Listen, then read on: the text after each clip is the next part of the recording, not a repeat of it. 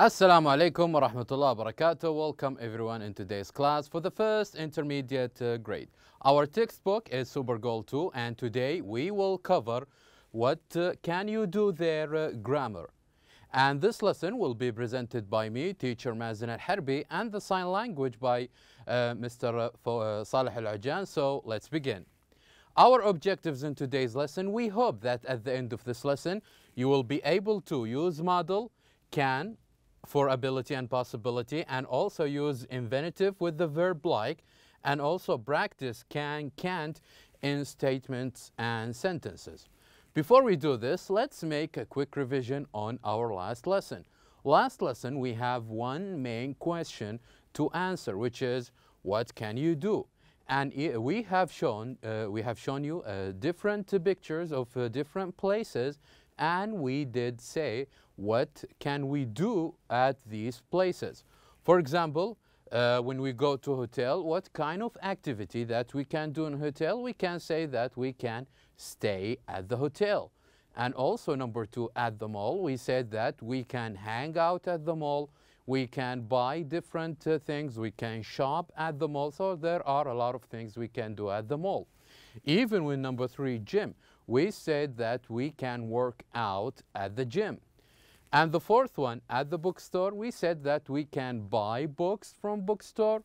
And number five, we said about a bank. If we go to the bank, we can open an account in a bank. And also with the supermarket, we can buy fruit and vegetables and grocery, uh, groceries when we go to the supermarket. And also the other picture we have, number seven, we said at the museum we can visit and enjoy uh, the art in a museum. Also, when we go to the park, we can walk or play. And when we go to a bus station, we can buy a bus ticket to move to another place. And even with restaurants, we can enjoy food and uh, try different, uh, uh, uh, different tastes. Also with school, children can study at school.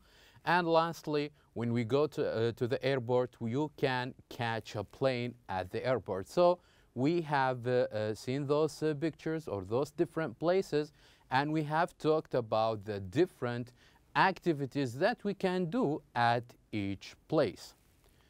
And now, our lesson uh, for today is we're going to learn more about the model can and what exactly uh, we use can for.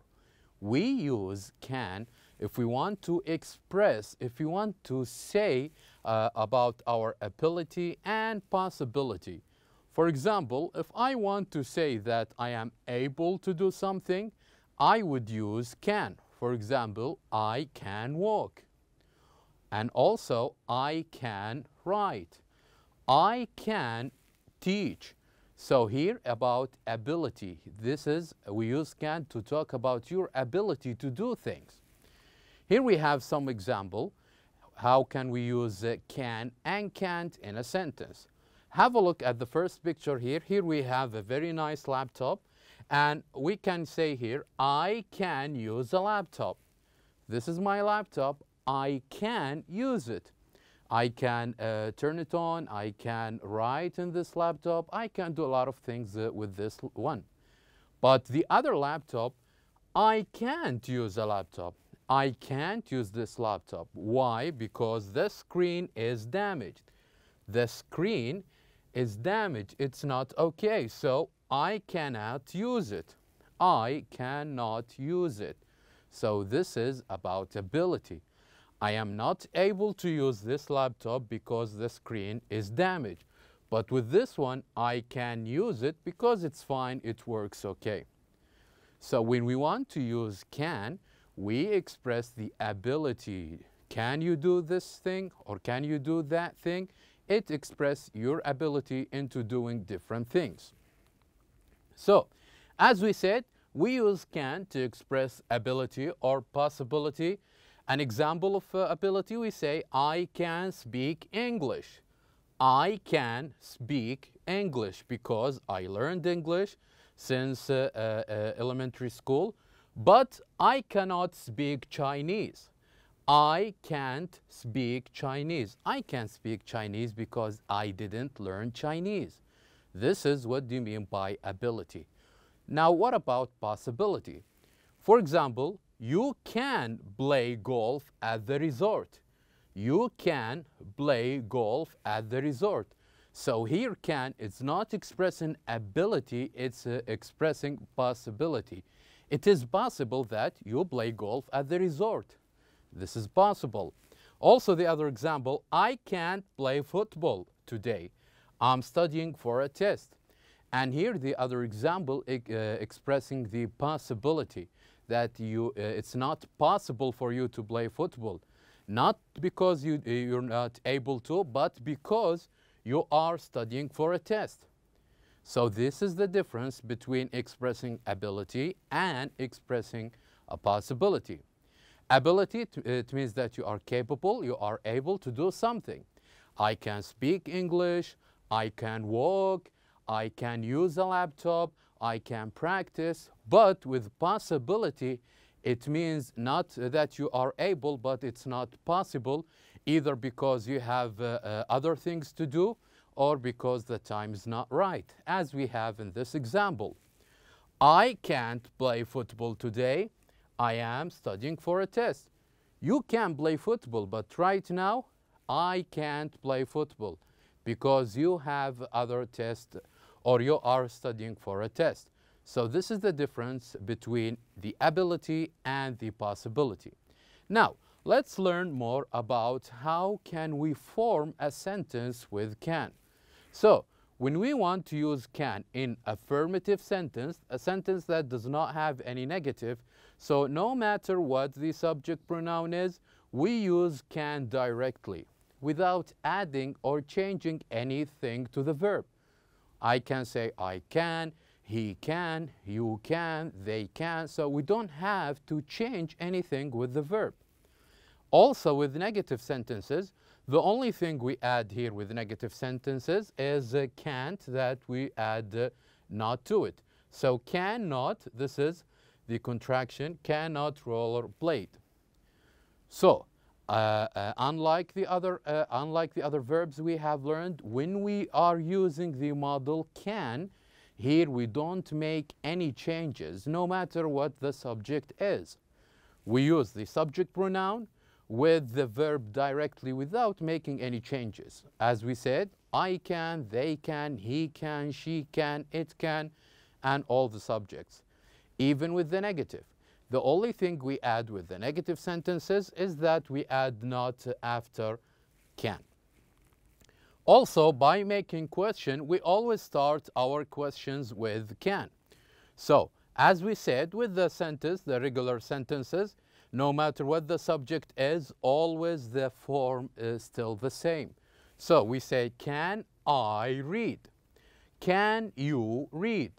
Can he read? So even with question, we don't make any changes to the verb, whether if the subject came uh, before the model can or even after the model can.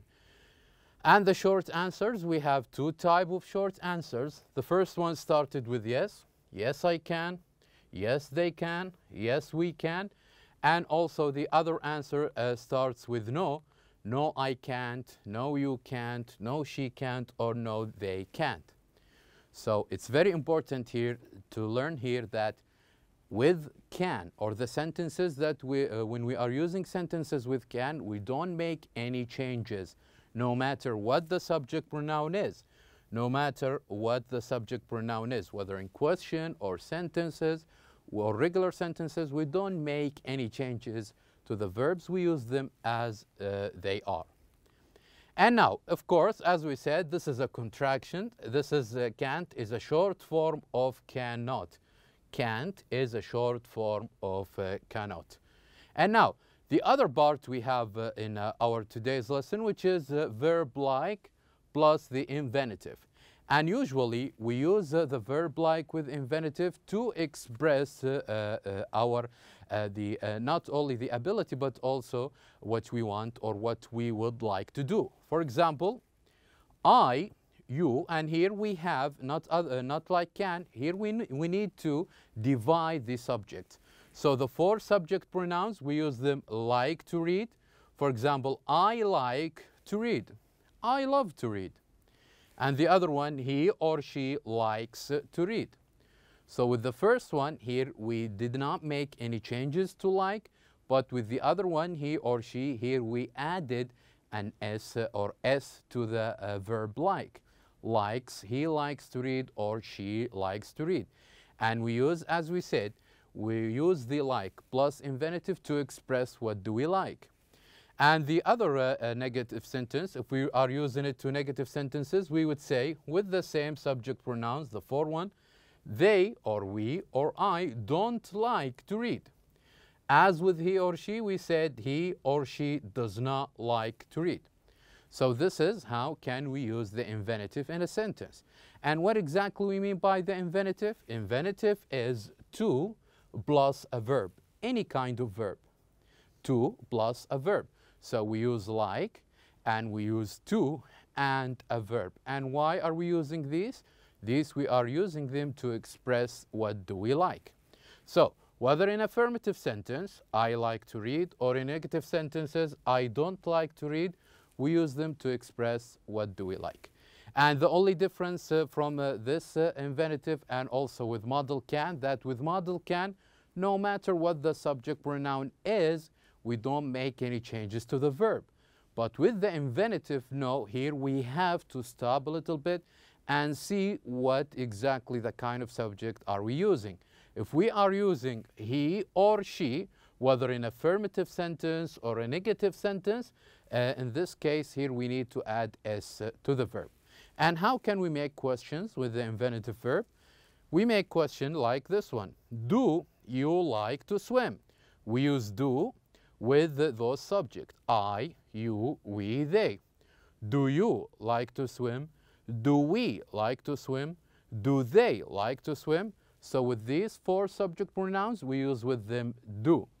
But with he and she, no, uh, at this case, we use does. For example, does he or does she like to swim? Does he or does she like to swim? And of course, as we have learned with the last semester with the simple present, how can we make questions with simple present? We always answer either with do, yes I do, or no I don't, or if we are using he or she, we would say yes he, he does, or no he does not. So again, the only difference we have between the infinitive and the modal can is that with the infinitive, we uh, need to pay attention to what kind of subject are we using. And when can we use like plus the infinitive when we want to express what do we like in different things. I like to read, I like to hang out at the mall, he likes uh, to read books, uh, he likes to drive to work. So when you are expressing what do you like, it, uh, we use the like plus the infinitive. So now, let's take a couple of exercises just to, to understand more about the modal can and the infinitive. So our first exercise we have is this one, exercise number A. Complete the sentences with can or can't and the verb in parentheses. So what we need to do here is we want to use either can or can't and also using the, the verbs we have uh, in between parentheses. And pay attention, before you answer, you need to read the whole sentence. And why? Because you should read the whole sentence to know whether the person can or can't. And then start to write down your answer. So the first one, Ahmed Plank come tonight. He is finishing an assignment. He is finishing an assignment. So uh, uh, this is about Ahmed coming tonight and the other half of the sentence they say he is finishing. It means right now he is finishing an assignment. So uh, uh, can Ahmed come or can't he? Let's see the answer. The answer is Ahmed cannot come. And how can we know that he can or can't? Because we have read the sentence. He is finishing an assignment. Let's read the second one. And this one is a question. Luke drive them to the mall in his car. Luke drive them to the mall in his car. Now we want to make question about whether Luke is able to drive them in his car or not. And we said that when we want to make question using model can, where should we put can? Very good. We use can in the beginning. Can Luke drive them to the mall in his car? And as we said, whether if it's a sentence or if it's a question, we don't make any changes to the verb if we are using can. Number three, we meet tomorrow afternoon. I'm going to the dentist. We meet tomorrow afternoon. I am going, it means right now, I am going to the dentist. So the answer will be, we cannot, we can't meet. Why and how can I know that the answer is can't, not can? Because he said here, I am going to the dentist. Number four, Mr. Sawyer, see you now. I am afraid he is very busy. I am afraid he is very busy. So now, can Mr. Sawyer see me or he can't? And how can I know? I should pay attention to this sentence. I am afraid he is very busy. So what do you think? Can he or can't he? Very good. So, Mr. Sawyer can't see you now. I am afraid he is very busy. Number five, you, Plank, speak in the library, but you, Plank, read. You read in the or speak in the library, but you read. So here we have two contrasting ideas because we are using but. So one of these sentences should be can and the other should be can't. What do you think? Very good. We start with can't. You cannot speak in the library because we know that library always for people who wants to read in silence. And the other, you can read. You can read because this is what people do when they go to the library. Number six, Imad stay very long. His friends are waiting for him. His friends are waiting. They are right now, they are waiting for him. So the answer must be very good. The answer must be can't. He can't stay very long because uh, his friends are waiting right now at this moment. They are waiting for him right now. So these are the answers of the first exercise, exercise A. The other exercise uh, uh, we have on the other page, this is a very interesting one. Here I would like to work with a partner, a family member, or even a classmate and make, uh, we'll try to make question and answer them by looking at these pictures. And let's uh, agree that the person we would like to make a question about, let's name him Fred. Okay, let's name that person Fred. And let's make questions about the different things from these pictures to ask about Fred. So, if you see the picture that does not have an X sign, so it means that we, the answer will be yes, he can.